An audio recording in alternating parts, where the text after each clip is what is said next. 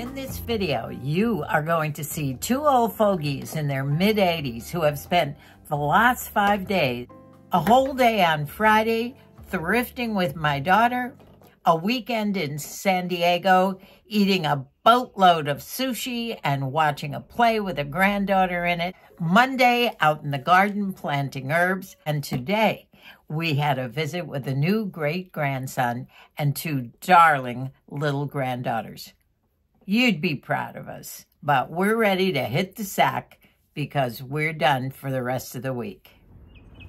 Gorgeous day in the garden in my palazzo pants. Let's bust another myth about aging, that older women cannot wear palazzo pants. Oh, yes, we can, right, Mose? You betcha, Red Ryder. right.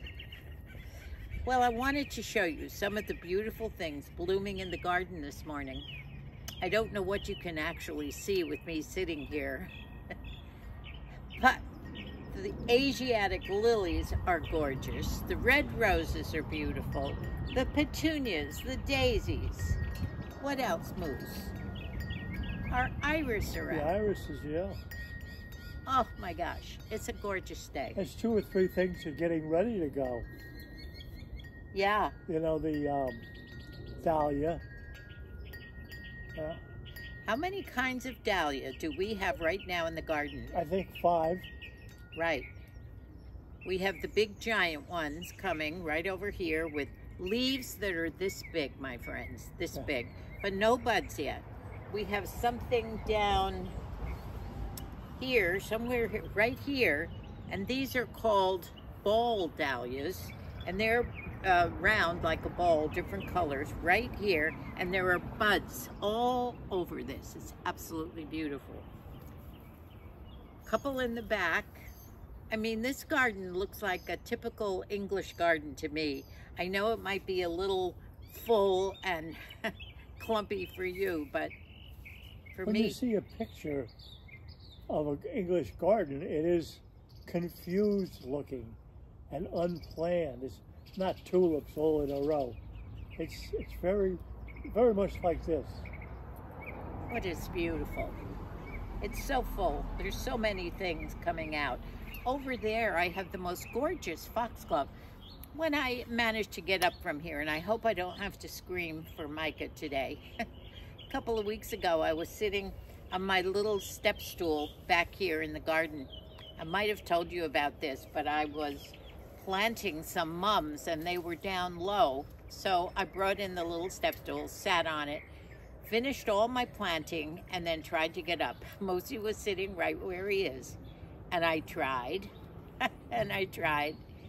No, I wasn't here. I didn't know you were having a problem. I must have been in the house.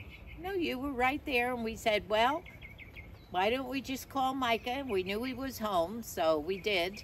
And in about five minutes, Micah came down and just came into my little garden and found me sitting in here all by myself. he got me up and off we went. We sure had a fun weekend, didn't we? This production that we went down to see over the weekend, we were there on Mother's Day.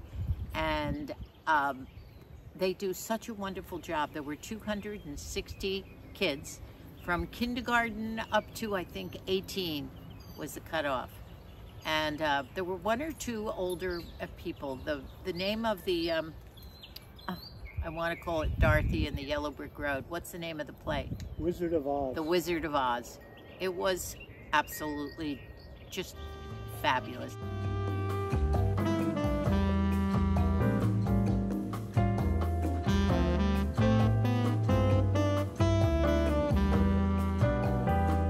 One of those plays that everybody knows all the songs. We're sort of singing along with them and uh, had a great time. Oh, the, the videos that I loved and the pictures after this production, we went out to dinner with Mikey, Sabrina, and the three children. And they're big, big time sushi eaters. You wouldn't believe the kids and how they can eat sushi. So we went to one of their favorite sushi places. And I have pictures that are so hysterical. Mikey ordered So much sushi. And do you know what? That sushi that we had on Sunday was probably the best sushi I've ever had. Really? Yes. Yeah. Get a kick out of these pictures. One in particular, it's sort of half a video, half a picture. And we were, it was a long table, and Moosey, Mikey, and I were sitting on one side, and on the other side, Dane and Lizzie and Megan and Sabrina were there.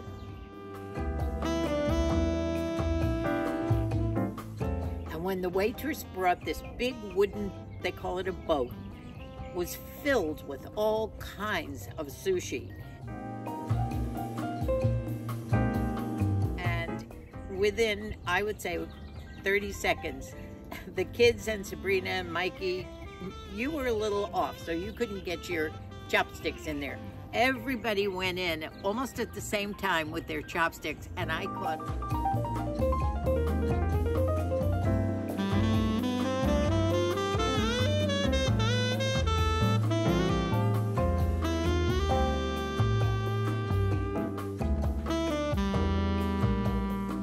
It's amazing to watch those kids, isn't it? Eat sushi. They all know the different types. Most of them love everything, especially Dane.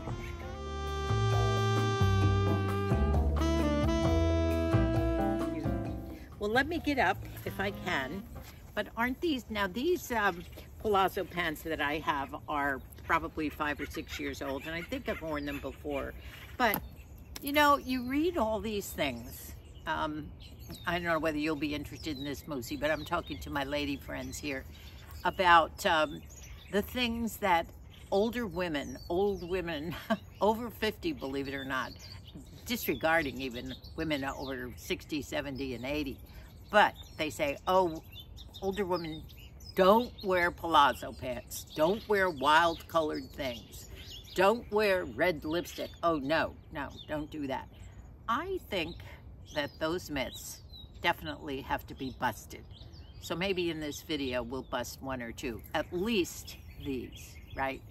Just saw a picture of some older women in what they called pedal pushers. Remember them? Yep. Pedal pushers. Now they were to here. Now the pedal pushers of today are a little bit longer, but they say pedal pushers are great for women to wear. Maybe not older women. Why not? I can't see why not. I love them. And they say pedal pushers are great for showing off a great pair of shoes. You know, because they're a little bit above the ankle. Yeah. Okay, I'm gonna get up and show you some of these beautiful flowers. Tell my ladies about some of the comments that you got in San Diego as we were coming out of the play. He had this complete outfit on, by the way. This was given to me by Mikey on my 85th birthday. About two years ago, huh? Yeah. It's Got number 85 front and my name in the back. is on the back. And he had the Dodger hat on and the Dodger blue shirt here. And of course, in San Diego, everybody, they're big fans of who? Padres, and the Padres beat us that day while we were in the play. Yeah. And a couple of guys came in with the Padre gear on. Oh, yeah. And there was a fist fight. Of course, you ought to see the other guy. Wow. Mikey was pushing Moose's, he was in the wheelchair because it was a long way. And as we had to keep moving people and everything, that's when these men, even some women, would look at him and say, hey, we shouldn't let you through or whatever, making funny comments. Of course, Moosey loves that. I think he wore this outfit on purpose. I'm just looking for action. Yeah. How long ago did Colleen give you this? My birthday, That's right. and I guess I feel a little weird holding my flowers. Well, this sits outside. I've already been married. I've had my bouquet. Yes, right. But I wanted to show them this is the second bloom of flowers on Amaryllis. this. It's one of those ones that just sits in a wax. The bulb is in wax. She got it at Trader Joe's. His birthday was April 8th, so that's about almost six weeks ago. And it had a first bloom of six flowers. Gorgeous. And it sits out here next to him. And it just keeps blooming. Beautiful, isn't it? Start off with some of these red roses. Aren't they beautiful? And they're all coming out. And in the back, can you see those? Those are my coral colored roses. And I think I have one one, one down there, a couple of those, aren't they beautiful? Now this is called Asiatic Lily and there's three stalks and it's finally the first color. Is that beautiful? It looks like they're all going to be the same color, Moose, but look at how many blooms we're gonna have. Moosey said I'm taking the water away from the birds here. I did buy over the weekend some more um, herbs. I bought some more pepper, green pepper plants, which I love, and um, cilantro. Always need our cilantro for our tacos and everything, but I, I will be planting those probably today. And our first iris from Idaho, but the bad part about it is that it's the only one coming up with a couple of buds in this whole pot, and we don't know why. But here's a close-up of that beautiful, beautiful bougainvillea. I do want to show you this eggplant, that was a tiny little eggplant, and there's already some purple flowers on there, and those are the eggplants. Now, last year I had the Japanese eggplant, which are more, they look more like a cucumber. This is the big fat one. I gave Margie one, and hers is doing beautifully, oh, too. Lucy wanted me to show you our foxglove. Isn't that beautiful? That's from last year. So it's a perennial. I didn't realize that about foxglove. I didn't even put it in a big tub. I sort of left it in its original pot. Of course, the geraniums are doing more than their share this year. They're gorgeous. My hydrangea. And I have another plant in the back full of buds ready to come out. Isn't that beautiful? And they both smell. Isn't that a gorgeous rose? I love these over here. Look at those velvet looking dark velvet magenta. Is that what color you call those? Aren't they beautiful? Well, it's now Wednesday, and it's about 3.30, and we've just come home from a wonderful visit with Molly and her new baby. Now, the baby boy, Austin, is now almost three, three and a half weeks old and everything is so wonderful up there. They were thrilled to have their little boy, and the girls are being very good mommies. Well, due to my little snafu this week of forgetting to bring my iPad to San Diego with me, so I didn't get my Mother's Day video up on time, which I apologize for. I had it all ready to go, and I forgot to bring the iPad. We left at 7 a.m., and I was supposed to just push that one little button to upload it and I forgot to and we left for San Diego. So that's why I got that video up Monday and I apologize. But I didn't want to mess up the week. So I'm did a little bit of of filming in the garden yesterday. We didn't come back from San Diego till Monday. We had such a wonderful time. We enjoyed a nice stay at the hotel again. And believe it or not, I did remember to bring my traveling companion in with me, my toilet riser. So everything was hunky-dory.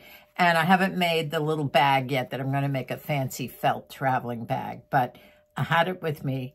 And I remembered something that my mother used to say years and years ago. You know the things that mothers teach children when they're little about strangers, stranger danger, and you don't talk to strangers. Well, the same with toilet seats, by the way. You do not sit on strange toilet seats. So I did have my, my traveling companion with me. It was all good. But right now, I will be putting up some pictures of our little visit with Molly and the kids and little Austin. Now, I must say, Moosey did get the most time with the baby. After Molly nursed him, we were all sitting in the living room and the girls were playing with the little toys that I had, brought. And it was a Peppa Pig little dollhouse that we picked up at the thrift shop the day it was out. The prior Friday, I guess, with Debbie. It's been a busy time and I am ready for a rest, believe it or not. But um, Molly got some good video and some good pictures, and Moosey actually lulled the baby to sleep after Molly nursed on his chest singing a song. And I could see Kelly stopping what she was doing, listening to Moosey. Such a wonderful time with our uh, darling little uh, uh, great-grandchildren. And those two little girls don't stop talking the whole time they're there. Of course, Moosey had to have a translator there the whole time because number one, he couldn't really hear what they were saying. And since they're only the two girls are two and four, the speech was a little bit fast. They both talk fast all the time. What fun.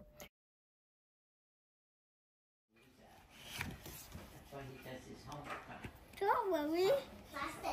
Don't out here. Don't worry. Try to in the car.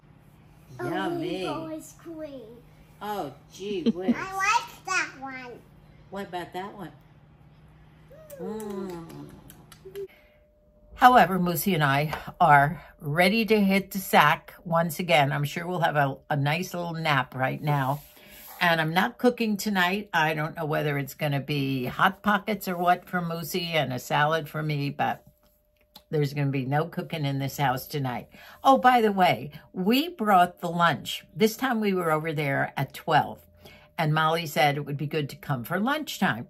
So I said, well, what would you like us to bring? I thought I could make something or what. She said, and I think Molly, uh, having been pregnant for so long, trying to watch what she ate, she said, well, you could go through um, maybe McDonald's or, oh, she said, I have it. Why don't you go through Del? Well, once she mentioned Del Taco, that was right down my alley.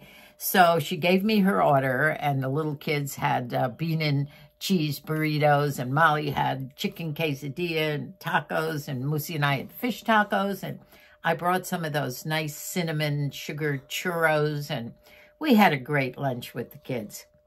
I also made chocolate chip cookies and brought some of those. So. Annie. Great time. Can you hear the snoring coming down from Moosey's world? He's already snoring. so as soon as I finish this, I'm in my bed with my new backrest, by the way. I don't know whether you remember, I was gabbing away when we, W and I were showing you all the things in the back of her car.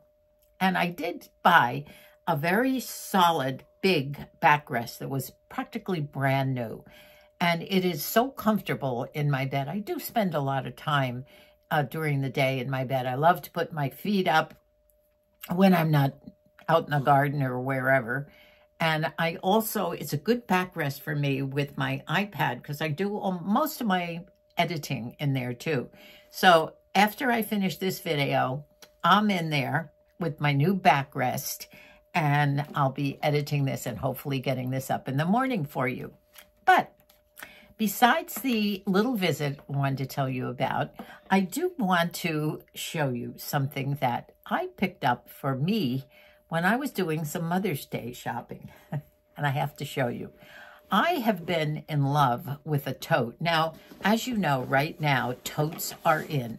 Totes and pedal pushers and various other things. But there is a tote that was a designer bag that I've looked at for a year or two.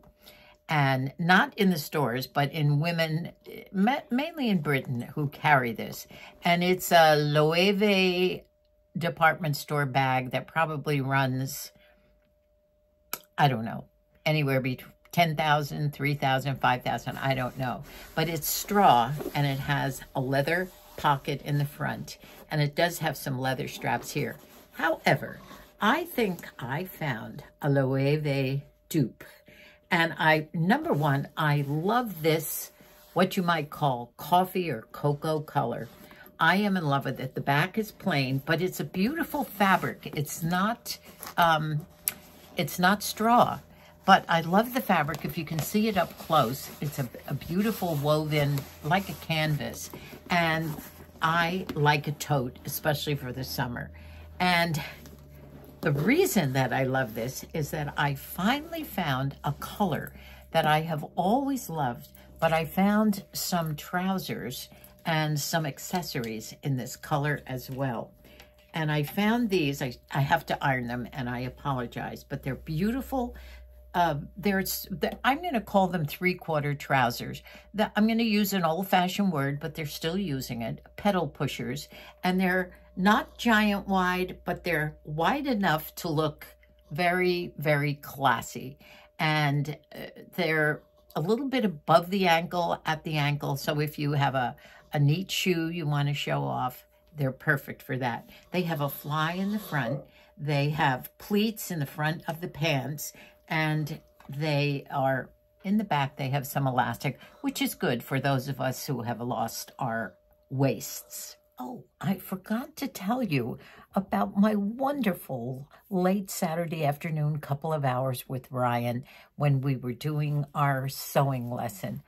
I tell you to have a couple of hours with one of your older granddaughters, especially when I remember the time I spent with her when she was a little girl, so much time. It, it just warms your heart. And I tell you, that girl is going to be one of Nanny's proteges with her with her sewing. Now, our granddaughter Katie turned out to be a fabulous sewer. I taught her years ago too. A couple of the other gals too, but they didn't reach to the heights that they do their own things, but Ryan will. And it was very heartwarming for me. You, as you turn, because it's circular, just do, okay, you got to do the foot thing. Okay. All right. I'm going to guide it back to where it was. Go. Now, see, we're back here. See how I Yeah. guided it back? Keep going. Good, good, good. Okay, now if you want to stop and reset. All right, now see how it's, if it were straight. I cut it a little uneven. Yeah, I know. We're having a little problem with all that. But push it in, go. Okay, now go. Okay, and I would keep it in that Ryan's on her own now. Going great. She's doing a hem, and we're not basting. I'm teaching her to do it the modern way. Look at, she's a pro. she's already learned how to thread and do the bobbin, put the bobbin in the case. Good job, Ray. Little things you have to remember, like threading the needle front to back. Yeah. And by the way, when you put the needle in, when you change your needle, there's a flat side to the very top. I'll show you on one of the needles.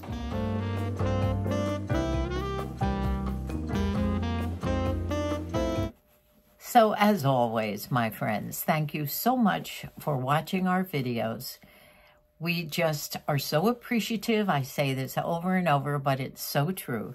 And I know that a lot of you are going to our homepage, Nanny and the Moose YouTube, and you're binging on all our other videos too. I love you all. I'm so glad that you're here with us. Hope you all did have a good Mother's Day, by the way. And enjoy the weekend. I know that for the rest of this week, Moosey and I are chilling. Hopefully it will be nice weather. I do have some more herbs that I have to plant in the garden, and it will be restful from here on in until we have a couple more graduations, but that's not till June. So we're we're going to be in the chilling mode for the next week or so. Bye for now. I love you, and God bless us all.